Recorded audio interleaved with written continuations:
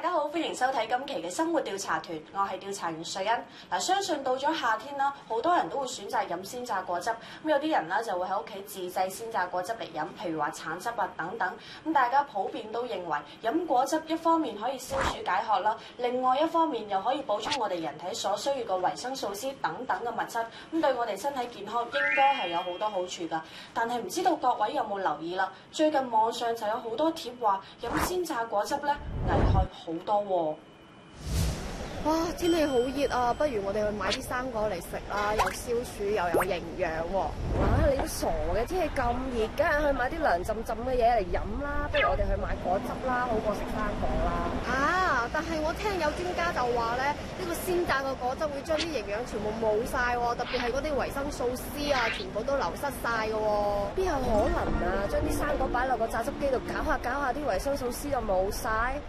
信唔過㗎，行啦！我哋都係去買果汁飲啦。好啦。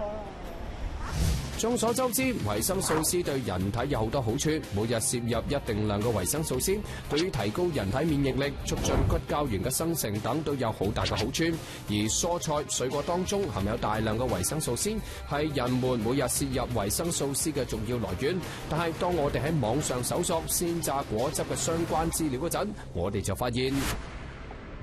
但我哋喺網上進行搜索啦，就發現有好多貼都話鮮榨果汁咧會令到水果當中嘅維生素 C 流失嘅量咧會高達百分之九十咁高。嗱，所以咧就有好多網友就會得出咗直接食新鮮嘅水果要比飲鮮榨果汁要好嘅結論。唔知道我哋廣州嘅朋友又有啲咩睇法呢？呃，美女有沒有聽說過將這個新鮮水果榨汁會導致水果中的維生素流失百分之九十呢？九十沒有，沒聽過。啊，这么多，没听说过哎。没有呀，会流失啊？不可能吧？我觉得没有。睇嚟大家對呢個講法都唔係好清楚噃，甚至係表示驚訝咁。為咗調查清楚，將水果榨汁係咪真係會令到水果當中嘅維生素 C 流失？首先，我哋一齊嚟了解一下榨汁機嘅種類啦。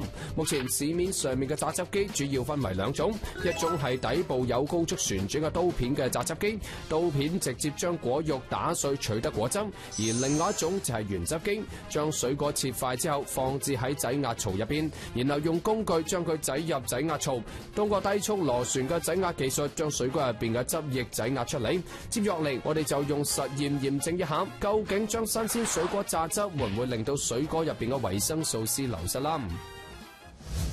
好啦，咁我哋而家咧就嚟到咗檢測機構。咁究竟新鮮水果榨汁會唔會令到水果當中嘅維生素 C 流失呢？我哋一齊用實驗證明一下。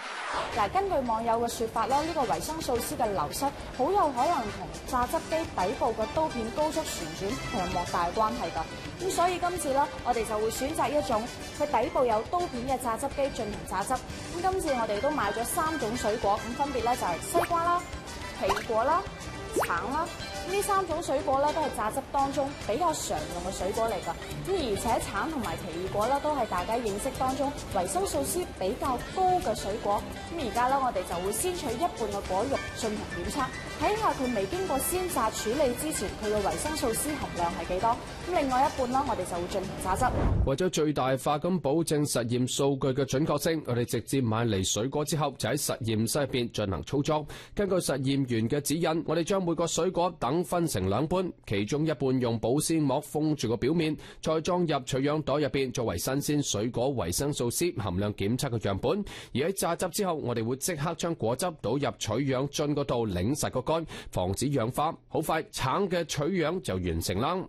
好啦，第一組嘅樣品已經取樣完畢啦，咁我而家就將呢個橙同埋橙汁即刻攞去俾老師檢測。老師，麻烦您啦。接落嚟，我哋嘅調查員瑞欣就繼續喺實驗室入邊處理奇異果同埋西瓜。每次處理完一種水果之後，我哋都會將砧板、刀同埋榨汁機清洗乾淨，更換一副手套，再繼續處理另外一種嘅水果。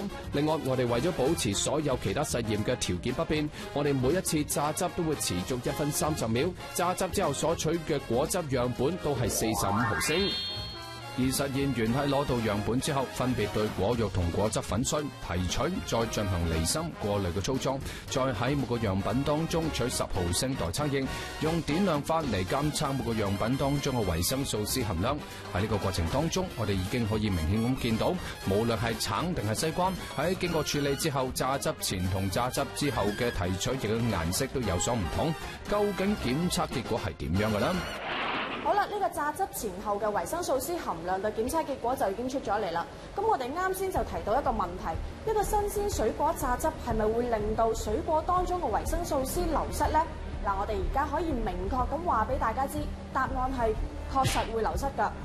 從啱先嘅實驗，我哋可以見到，橙喺榨汁之前，維生素 C 嘅含量係每一百克五十八點八三毫克，而榨汁之後為每一百克五十五點八三毫克，減少咗每一百克三毫克，佔原來維生素 C 總含量嘅百分之五左右。西瓜喺榨汁之前嘅維生素 C 含量係每一百克十七點八二毫克，而榨汁之後為每一百克十三點七三毫克，減少咗每一百克四點零九毫克，佔原來維生素 C 總量嘅百分之二十三，而奇異果喺榨汁之前嘅維生素 C 含量係每一百克九十一點零九毫克，榨汁之後維生素 C 含量係每一百克九十一點零五毫克。點解奇異果嘅維生素 C 含量變化唔大㗎啦？因為誒、呃、用佢哋呢款榨汁機榨奇異果嘅時候，佢係冇辦法榨出汁，取嘅時候係取佢誒、呃、攪碎之後嘅果肉。我哋選擇嘅三種水果當中，有兩種水果喺榨汁之後維生素 C 含量都有所流失。咁到底係點解呢？係咪真係好似網友所講嘅咁，同個刀片有關啊？水果里面的維生素 C，它的分布地方的話，不單純在它的汁里面，在它的細胞里面也有。那麼意味着我们在榨汁這個過程之中，那麼你們得到的是果汁，是含水量比較高的一部分。那么实际上，它能够分布的维生素 C 只是水果里面的维生素的其中的一部分，而不是完全的维生素 C。那么实际上维生素 C 呢也有一个风险。那么我们在用高速的旋转机的时候，那么这种情况下，这种刀片会产生一部分的热量，这一部分热量呢也会损失少量的一部分维生素 C。有些人榨果汁是榨完水果汁以后，全部把果肉去得很干净，只留下我们的水这个成分。那么这一部分呢，实际上来说，维生素 C 的损失是比较大。但是至於說是不是達到百分之九十呢，可能有點誇張。但是呢，確實是損失是比較多的。嗱，原來新鮮水果榨汁啦，係一定會導致水果當中嘅維生素 C 流失嘅。只不過咧，無論係水果裏邊嘅維生素 C 係多抑或係少，咁佢並唔會話好似網上所講，流失量會高達百分之九十。而點醫生所講嘅咧，榨汁機底部呢個高速旋轉嘅刀片產生嘅熱量，會導致水果當中嘅維生素 C 流失。咁係咪就意味住維生素 C 嘅保存同温度有關呢？對，本身維生素 C 的保存的情況下呢，實際上就跟温度有關係。我們在任何的情況下加温都可以損失維生素 C。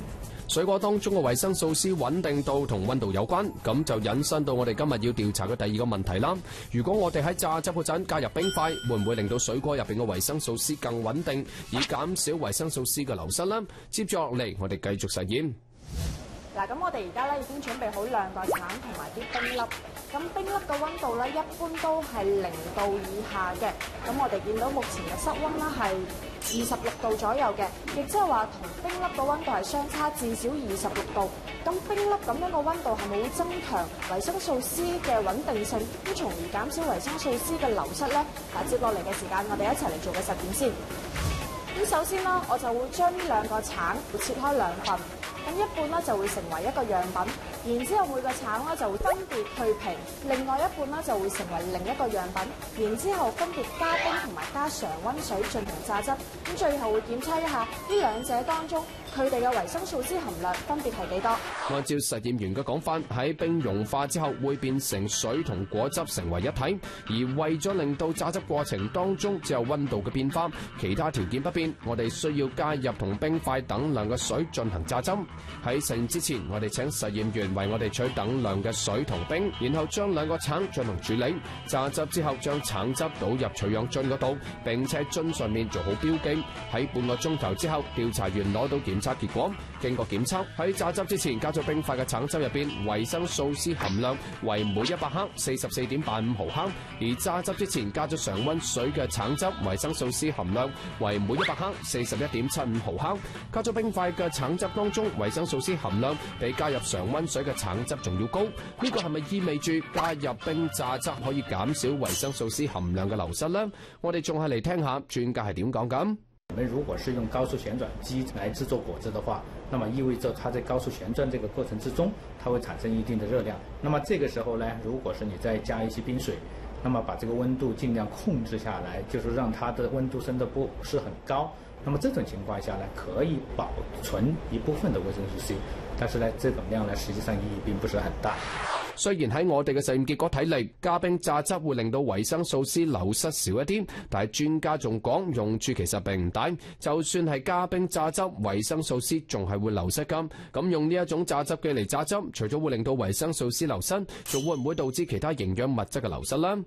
那么我们榨出果汁的时候，实际上就损失了果肉这一部分。那么也就意味着我们的维生素 C、我们的花青素或者是黄酮类的这些物质，在果肉里面含量的话，那么实际上在果汁里面是得不到的，所以它的量是肯定会变低。我们倒是担心的不是一个营养成分的一个问题，那么担心的是一个非营养成分。非营养成分就是我们常说的膳食纤维。如果我们纯粹的榨果汁以后的话，那么水和果肉之间分隔，分隔以后的话，水里面就是果汁里面含有膳食纤维的量会变得很低。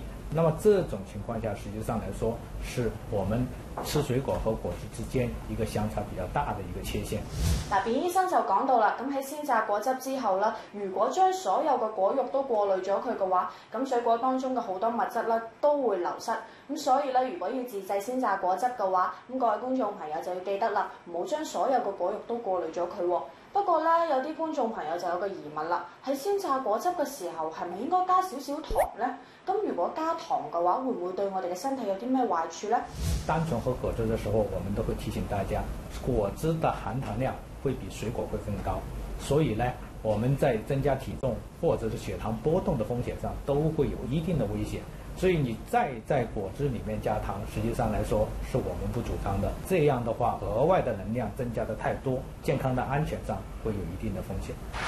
糖分係溶於水㗎，所以將水果榨汁會令到水果入边嘅糖分濃縮榨出嚟嘅果汁當中，導致果汁當中含有更高嘅糖分。所以大家喺自制鮮榨果汁嘅時候，要記得唔好再喺入边加糖啦。哇！原來自制鮮榨果汁仲有咁多個學問，咁大家一定要記清楚啦。咁啊榨汁嘅時候咧，盡量就唔好加糖。咁榨完之後咧，果肉同埋果汁咧就一齊飲，咁樣對我哋嘅身體健康先會有更大嘅好處㗎。不過到呢度咧，我又有個疑問啦。嗱，平时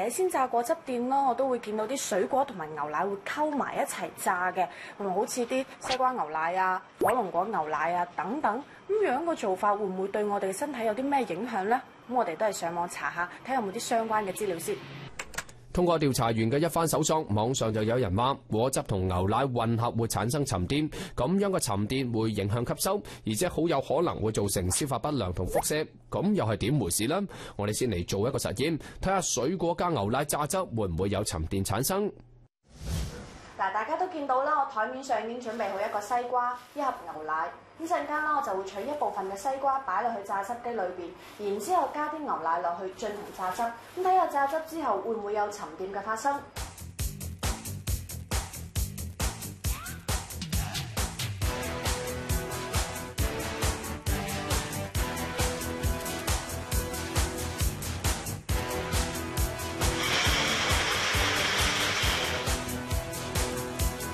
榨汁完成啦，而家等我哋將佢靜止一個鐘，睇下會唔會有沉澱。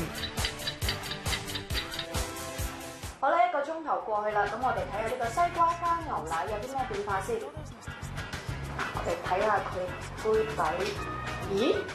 我哋見到呢個西瓜加奶，佢冇沉淀嘅發生喎，但係咧，我哋見到佢表面上咧係有啲西瓜絲嘅喎。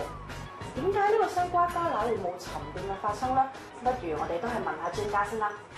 那么这种榨汁的方式不意意味着水果不可能完全变成水一样的东西，那么它肯定有一些水果的颗粒状的东西存在，那么放置的时间肯定会产生沉淀，那么这是我们肉眼看见的沉淀。科学意义上的说的沉淀的话，实际上呢，榨成果汁以后。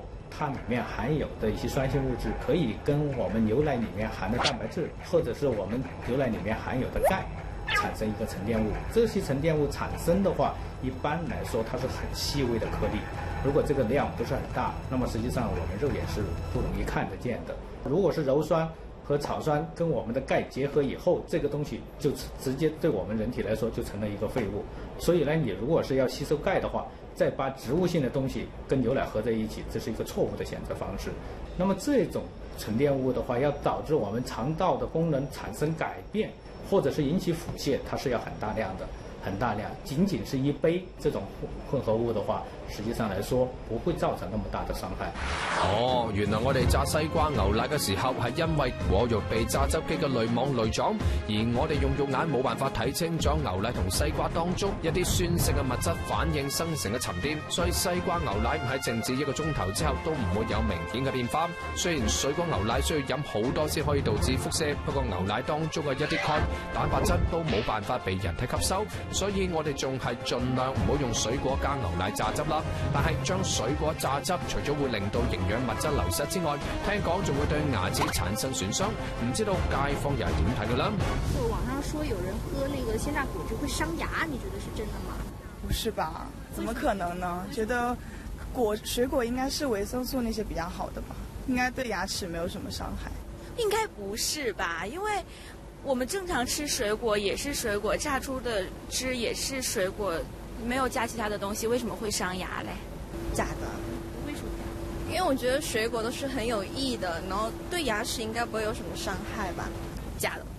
为什么呀？因为鲜榨果汁它没有什么成分，就是感觉会伤牙吧？牙齿是很坚固的。街坊朋友都觉得鲜榨果汁唔会伤牙噃，而网友就话鲜榨果汁伤牙系因为入边含有果酸，果酸会呈现酸性。到底呢个讲法系咪真噶啦？我哋继续实验。咁接落嚟嘅时间，我哋首先要做个实验嚟测试一下佢哋嘅酸碱性。嗱喺我台面咧已经准备好西瓜同埋橙，咁仲有一个 pH 值嘅试纸。咁大家见到中间系七。係呈中性嘅，咁如果低於七嘅話就係呈酸性，咁如果高於七嘅話就係呈鹼性。我哋分別用喺市場上面買翻嚟嘅西瓜、橙嚟榨汁，再用 pH 試紙檢測，睇下佢哋究竟係咪呈酸性。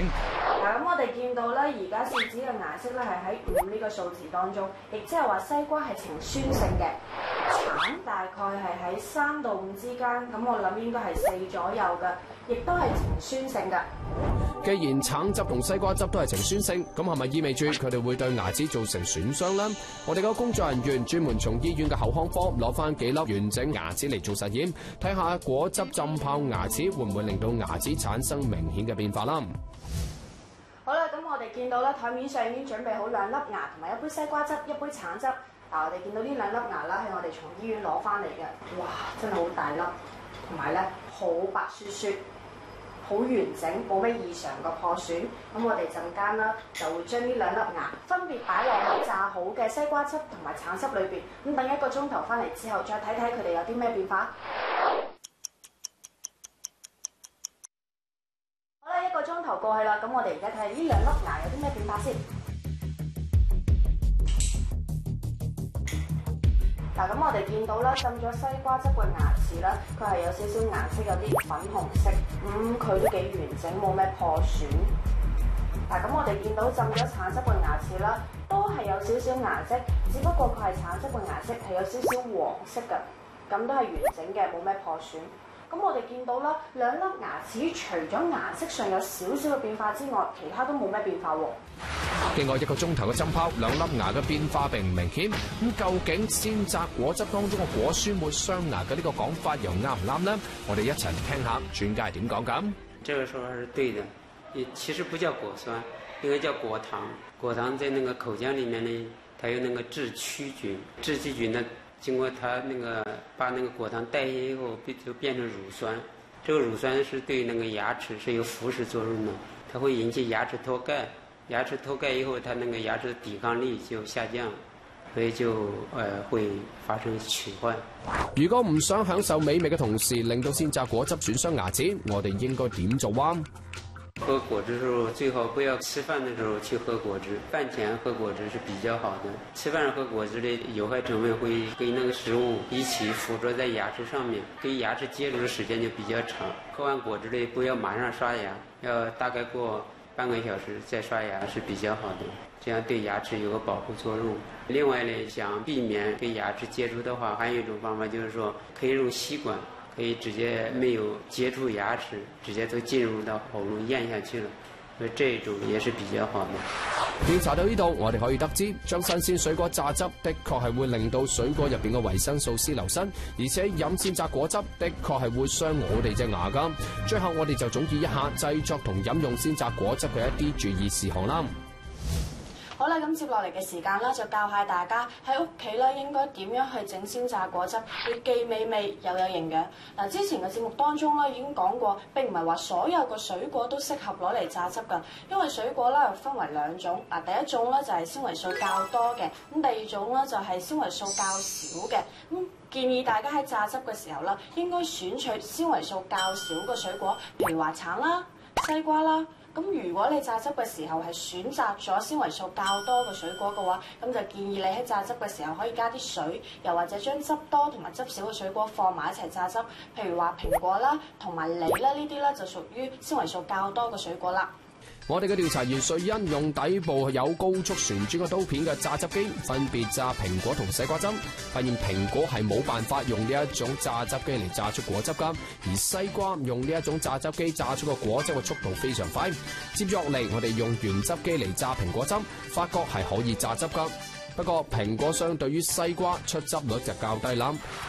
嗱，仲有一點咧，就係榨完果汁之後咧，果肉同埋果汁應該混合一齊飲會比較好。咁仲有咧，就係榨完之後要盡快飲晒佢。咁如果你飲唔晒啦，就應該放喺冰箱度進行保存。但係放好嘅時間咧就唔好太耐啦，因為以免啊導致呢個維生素 C 過多嘅流失。咁另外咧，鮮榨果汁應該喺飯前飲會比較好。咁榨嘅時候咧就儘量唔好加糖。榨完之後咧用吸管盡快飲晒佢，唔好令到呢個果汁啦喺你嘅口腔停留嘅時間太長。